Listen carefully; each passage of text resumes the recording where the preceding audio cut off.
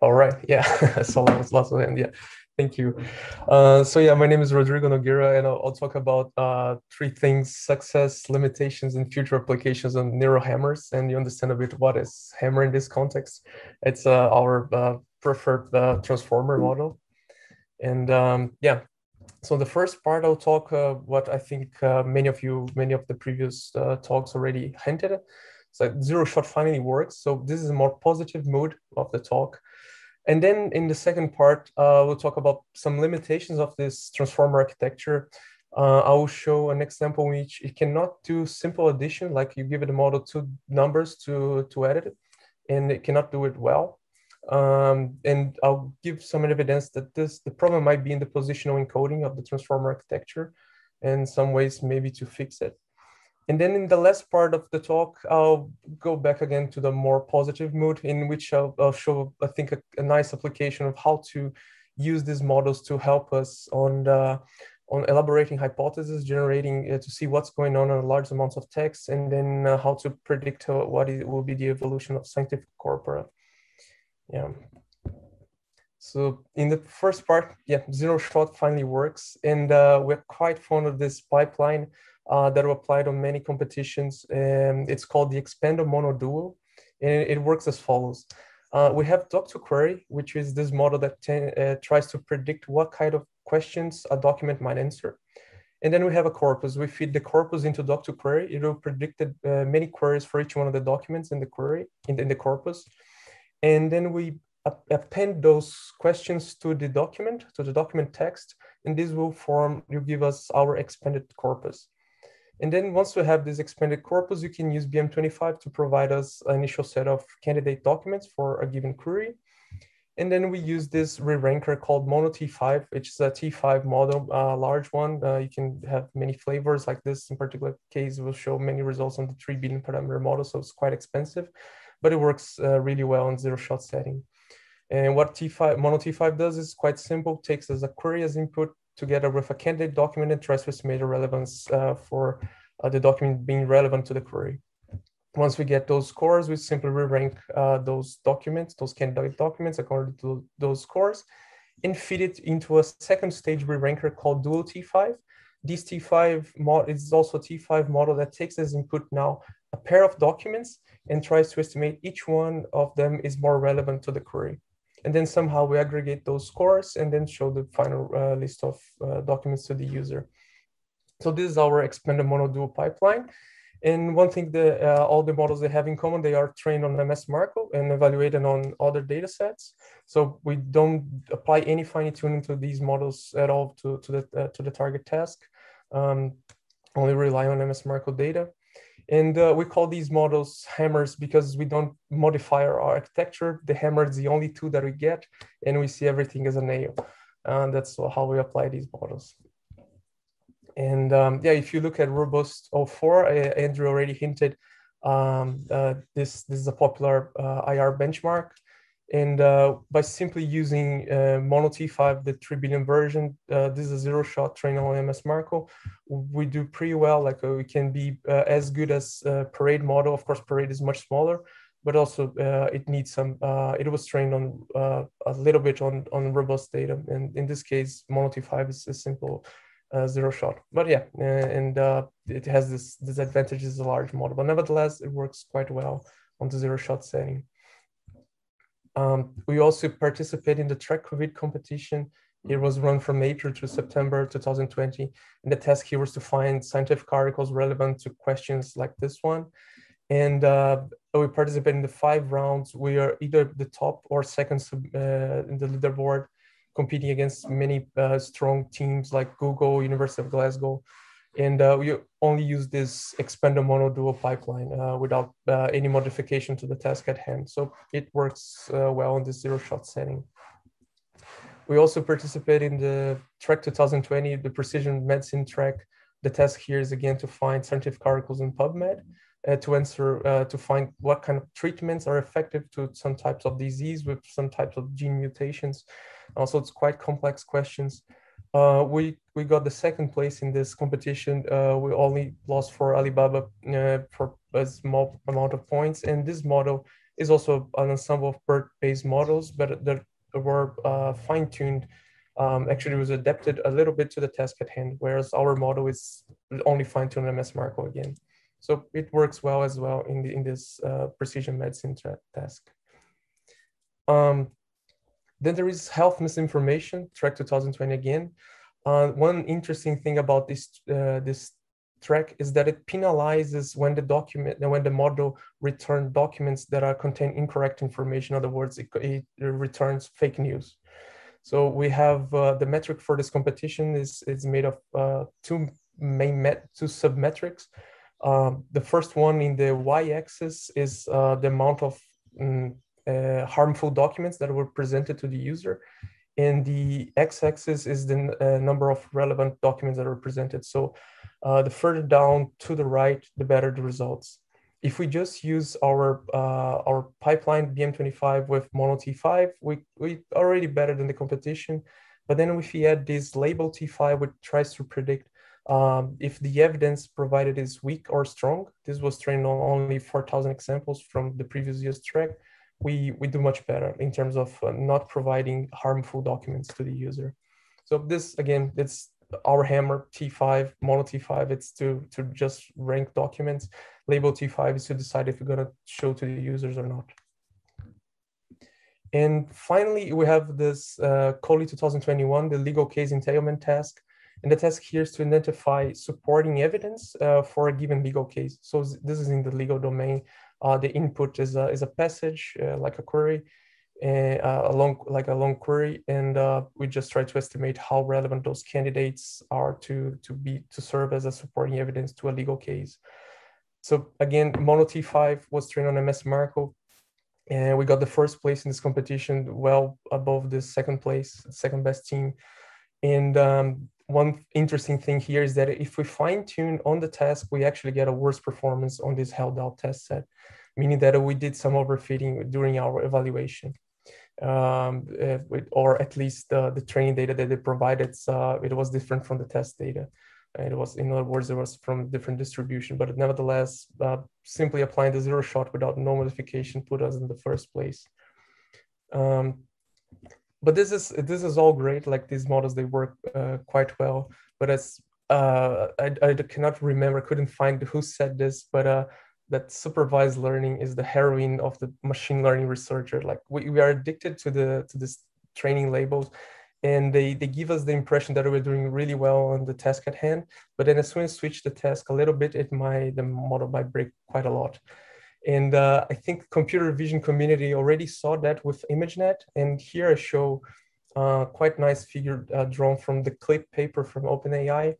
Uh, here they show that uh, in blue that the models train on ImageNet, and the y-axis is the performance in the ImageNet, and the uh, sorry the x-axis is the performance on ImageNet, y-axis is in performance on on out of domain uh distribution, and the in the in the purple one is the model trained on um, a CLIP model trained on the a more naturally occurring data, meaning um, images with uh, the, their respective captions. Uh, this is a much larger data set, but it's naturally occurring, so we don't need uh, human uh, labeling effort. And we saw that it has a much better zero-shot uh, performance than the ones trained on ImageNet. So uh, with that, I, I, I argue that the next revolution information retrieval will be fully unsupervised, or at least we're gonna need very few amount of training examples just to give a hint to the model what to expect from its output. But uh, we won't need like uh, like Nils Reimers already pointed out, we, we shouldn't need half a million training examples uh, to learn the relevance task well. Like we, we should resort, we as a human, we don't need that amount of training data.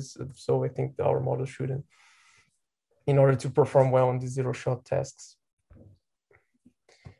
yeah, this this was part one, uh, very positive mood. Now in part two, I I'll give some more a negative uh, uh, feeling about uh, the how these transformer architectures they work and expose at least one limitation that we found. Um, and that is the task here is quite simple. Like we just ask the train the model to add two numbers. So what is 701 plus this other one? Uh, we give it to our hammer T5 and uh, train it to produce the answer token by token or character by digit by digit. And we, of course, we have an infinite amount of training data for this task, but we are looking at the specific, the low training data regime, how these models, they can uh, quickly uh, learn the task. And uh, so we took a T5 base model trained with 1000 examples uh, on this task. And um, in the in this red curve, um, we just feed it to the model. The model, the target output of the model will be its uh, subword representation. I, in other words, no no special treatment for numbers. Uh, it's just the way the model was pre-trained. We just fine-tune it. That's what we call here decimal representation. And uh, as you can see, the model cannot learn how to sum up uh, five digits. Uh, it, it, completely fails. Um, if we apply this trick of just uh, separating the digits, uh, putting a space in between, we get we had this character level representation, the, uh, which is shown the orange curve. The model performs better now, but it still fails uh, uh, around 10 digits uh, during this, this addition task. Then in the red curve, we see that it performs much better. And what we did here, we introduced this intermediate positional, explicit positional tokens 10 to the uh, 10E1, 10E0. So the model knows uh, the digits to the left or to the right, what position uh, in the in the number it occupies, or what's its, significance uh, for that particular number. And then the model uh, performs much better with only these thousand uh, training examples. It can do more or less addition of up to 30 digits. this is great, but then the model was trained with 30 digits and evaluated on 30 digits. What happens with it train on 30 and test on 60. And then accuracy of all the models that we tried, even the 3 billion parameter ones uh, were, were barely above zero. So these, we can consider these, these models, they, it, it, it could not learn the simple addition task. Uh, this also is not a problem of training examples. If we give them 10 million training examples, it, it can also not learn uh, the simple carryover operations. So there seems something uh, wrong here if you look at the output of the model, uh, it seems to try to shorten the sequence.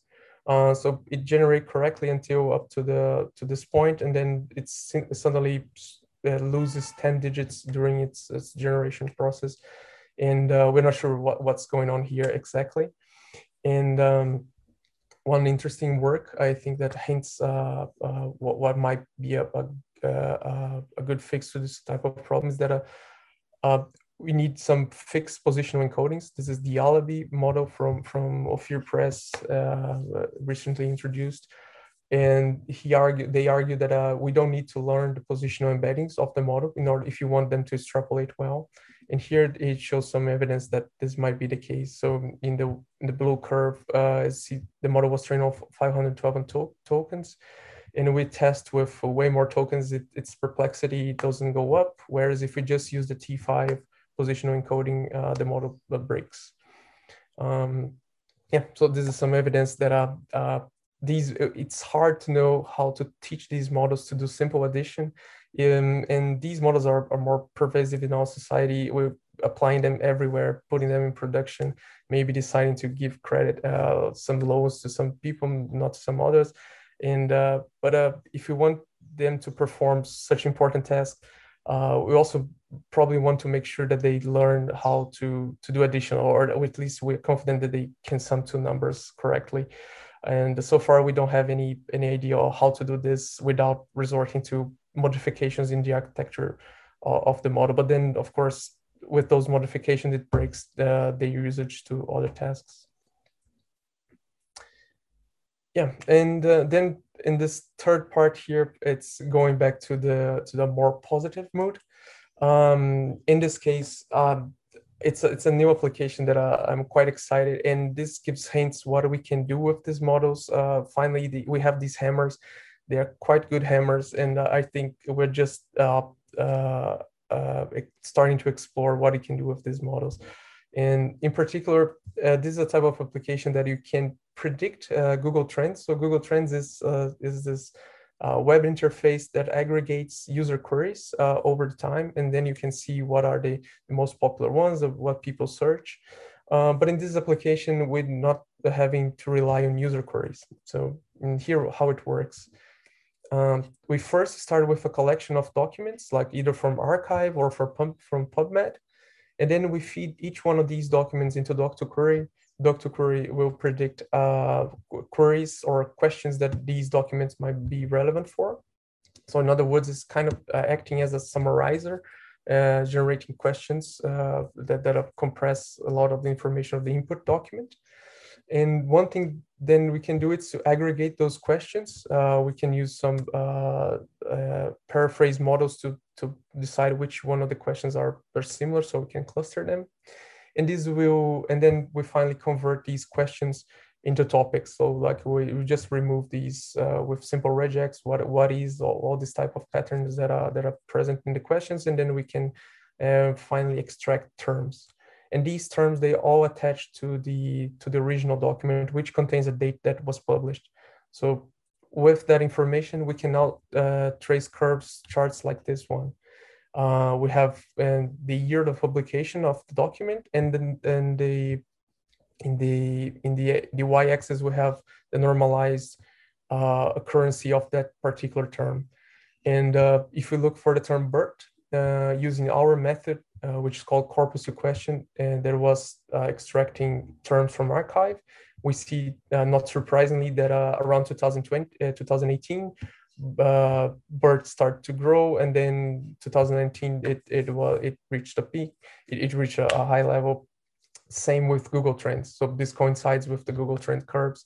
Uh, and as I said, we don't need any any user queries to to predict this curve. We only use arXiv. Um, we can also see some more interesting patterns. Uh, if you look to the term LSTM, LSTM it's, it's this popular recurrent neural network, popular before transformers now. I guess most of the people they use transformer, and um, we see that there's a high interest uh, on arXiv papers about this term LSTM around until 2018, 2019, but then start to drop after that and the arXiv community, the computer science community is not probably not looking into LSTMs anymore, at least not studying that anymore according to our method. But Google Trend user queries are still uh, on its peak, but uh, it seems there is some signal that it's start, starting to decline. But uh, in other words, we, we, we have this shift here in terms of uh, we have this advantage of uh, we, this possibility of predicting ahead what will be the evolution of some topics. Uh, there's also this other, just to confirm that uh, our method is, is working correctly. SIFT was a popular computer vision algorithm before convolutional neural networks. And uh, we see that um, uh, uh, corpus to question already predicted, uh, already saw that this, this less interest in the, the SIFT algorithm over the time, whereas Google Trends is still a little bit, a few years behind the prediction from, from corpus to question. So yeah. And finally, we have feature extraction. This is a more interesting one. Uh, feature extraction, um, uh, according to Corpus to Question, they lost a lot of interest from the scientific community, uh, or at least the ones that published put their papers on arXiv. But then on Google Trends, uh, it seems to just to to to increase. So there is this mismatch between uh, these two these two terms. And uh, with this mismatch, I, I think we can uh, create those hypothesis generator models that uh, tries to overlook at uh, some uh, scientific topics and then suggest to the user what are, what are these topics that are largely ignored by some portion of the community, of the, the scientific community. Yeah, and um, some conclusions here first part I show some success. Uh, people, uh, Andrew, Nils, everybody uh, show already how to uh, the, how these models they perform well, and um, I present this Expando Mono Duo. Uh, we are quite uh, proud of this architecture. It, it seems to work well on many competitions, zero shot uh, way. But uh, I still think that uh, uh, we are using way too much supervised data. If we want to improve our zero shot performance, we should be using less supervised data, rely more on some naturally occurring pattern in our, uh, in our data uh, and to train to have these models perform well on unseen uh, distributions. And another thing is that this limitation, we, we still don't know how to teach simple addition to the models. Uh, I showed that uh, they break on when they try to extrapolate on simple addition tasks. And uh, uh, some evidence that uh, the problem might be in the positional encoding, but I still couldn't figure out a way to to fix this problem. And I think this is important.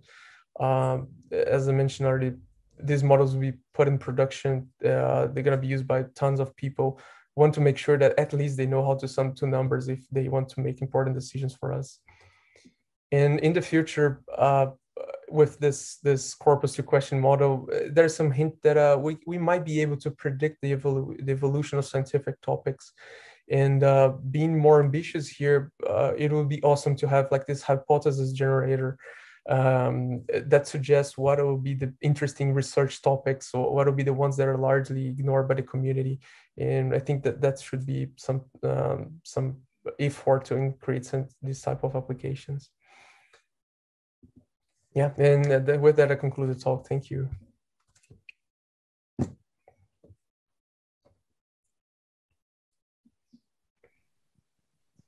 All right.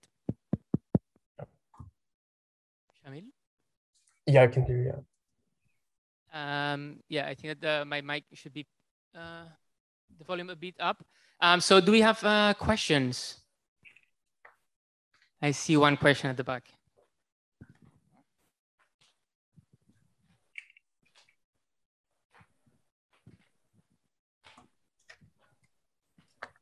Okay, thank you for the talk. About the last part, um, uh, so you just uh, applied the Doc2Query to the arXiv papers, and uh, it's quite obvious that uh, you see the shift in the predictions of your corpus to question model with the Google Trends because uh, the scientific community always can suggest has some research topics, then it might be some popular after some time, but uh, can it be used to predict the new topics? Uh, with uh, like some model which can encode text in some way or uh, some research topics to like tell if it's relevant to the future? Yeah, yeah, that's a great question. We still don't have any way to evaluate it properly. Like our baseline is only Google Trends, and that's it's it's, it's a pity. I think. Uh, uh, we, uh, we of course we can use the naturally occurring data of temporal data. Like we train the model up to certain years and then evaluate in the next years and see if it can predict correctly the evolution of those topics. But um, we don't have any ground truth, unfortunately. And uh, these, of course, the, the, task of predicting what is overlooked is um, unknown problem. It's uh, you you don't you don't know for certain if there are some overlooked topics. Uh, there is no benchmark for that.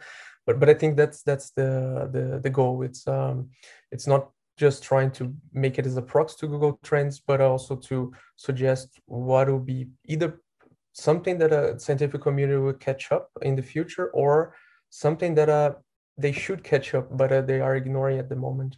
Yeah. Um, how does your tool as a automatic hypothesis uh, generator uh, relates with other works that already are automatic hypothesis generators? Uh, can you give an example or?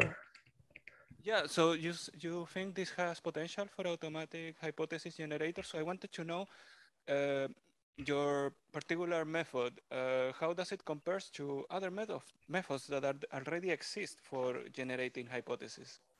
Yeah, yeah, I think I think there are a ton of work, especially I cannot remember the name of the author, but uh, extracting these uh, links between papers, for example, uh, and um, uh, seeing if the two uh, disconnected parts of the scientific literature graph um, and uh, pred predicting this connection between these this this parts of the graph and then suggesting these these two should be connected. I think it's a it's a many decades over, and um, but I think now I think we have way more powerful tools to to to make those predictions uh, with these models, and uh, I I think it worth uh, revisiting those methods. Previously, they were working this lexical overlap, very simple, like BM25-ish uh, uh, correlation between documents. But now that I have more powerful met, uh, models, uh, we can, for example, predict this these connections with more confidence. I think, and um, yeah, it, it, in in other words, we could simply reuse those tools.